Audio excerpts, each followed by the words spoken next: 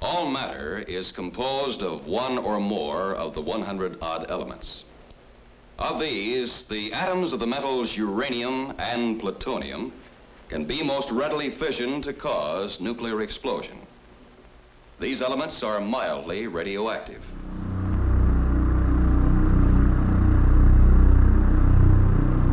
Just as in other kinds of industry, the nuclear industry produces its share of waste.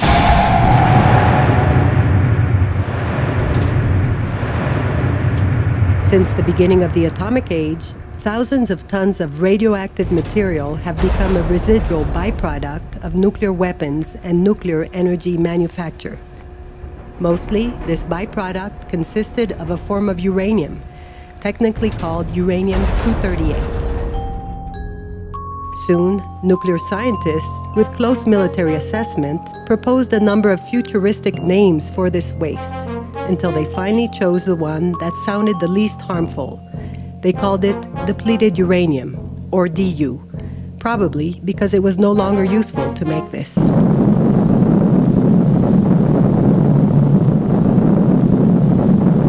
But something that falls short of destroying the world is not necessarily healthy. Depleted uranium is not decaffeinated coffee. For decades, it was handled as a nuclear waste that had to be stored in high security facilities. Sadly, such cares did not last very long. Despite the fact that depleted uranium's radioactive properties have a lifespan of 4.5 billion years, which is roughly the age of our young planet Earth, in a blink of an eye, the U.S. Nuclear Regulatory Commission assigned DU the new tag of resource material.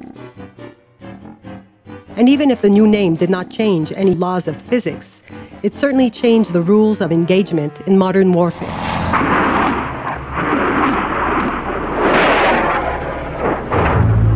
Since the first Gulf War, this new resource material has been used as a main component in conventional armor piercing munitions. And not only was this a cheaper alternative for safe nuclear waste disposal, for many others around the world, this meant that there was a price to pay.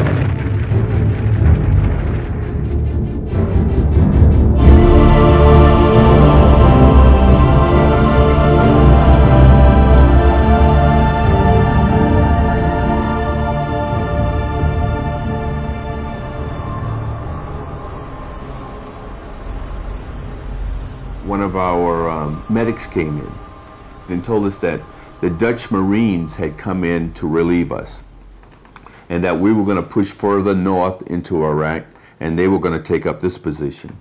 The Dutch Marines is a unique organization because they have a union. And this union came in and they had Geiger counters. And they surveyed the area in Al Samawat where we were living. And they found it to be radioactive and told us that it was un uninhabitable and why were we there. It seems that no great military power considers important to inform its own soldiers where it has used depleted uranium weapons.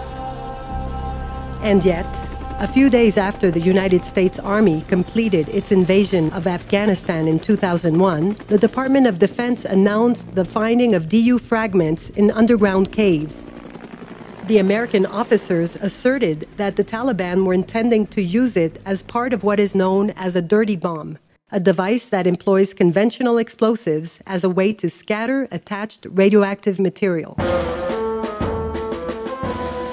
But ironically, there was likely more depleted uranium in Afghanistan outside the Taliban caves. The Pentagon may have scattered throughout this country much more DU as part of conventional munitions. Moreover, more than 300 tons were fired by the U.S. Army in Iraq, Kuwait, and parts of Saudi Arabia during the first Gulf War in 1991. Then, a few years later, the Balkan War theater received another 14 tons in bombings, and then again, Iraq took a hit of another 140 tons in 2003. Not to mention an undetermined quantity that the Pentagon has used in testing sites inside the United States Puerto Rico, and in the island of Okinawa in southern Japan. And yet, this is a small percentage of the more than a million tons of DU in existence. If you are now intrigued as to why the rich countries of the world seem to be using dirty bomb material, maybe we should start by explaining in the first place what depleted uranium is. Uranium is a heavy metal that is found naturally in the Earth in three different forms called isotopes. Every isotope of a material contains atoms with the same number of protons in their nuclei, but they differ from each other in that they have a distinct number of neutrons.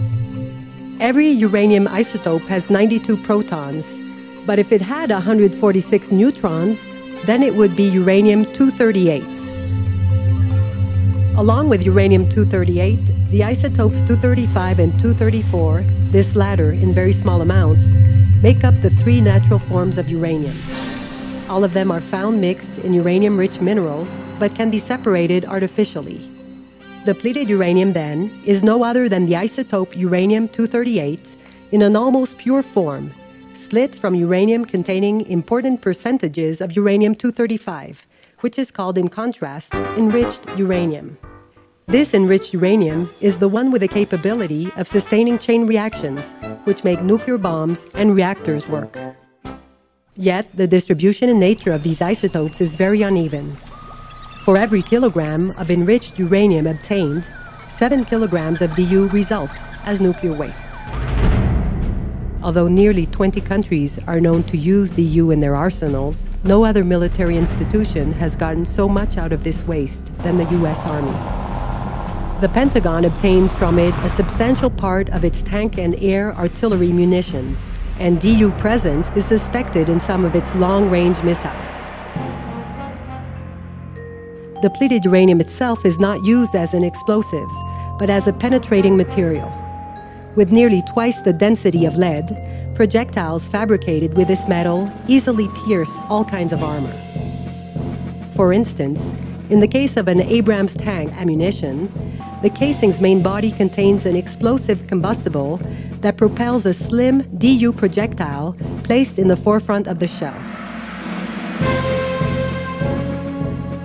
When fired, it loses an aluminum frame that keeps it aligned along the cannon, and the remaining projectile is a DU dart no thicker than a broomstick. The sheer heat produced by the impact disintegrates something between 30 to 70 percent of the projectile's mass before it exits the other side of the target, leaving a deadly wake of incandescent metal that burns alive the vehicle's crew. Yet, the controversy over these weapons comes not from the way they kill on the battlefield, but rather from the clouds of radioactive and chemically toxic dust ejected to the atmosphere by the disintegrating ammunition at impact. Anyhow, the Pentagon has already created what may be called a DU diplomacy, insisting to the public that there are three main reasons as to why spreading DU dust represents no danger. First of all, the Pentagon says that depleted uranium is considerably less radioactive than natural uranium. The reason is that the 238 isotope emits mainly a weak kind of radiation that does not penetrate the skin, known as alpha radiation. Secondly, the Pentagon argues that the fallout of DU particles only cover a 50 meter perimeter around the impact point and does not reach populated areas.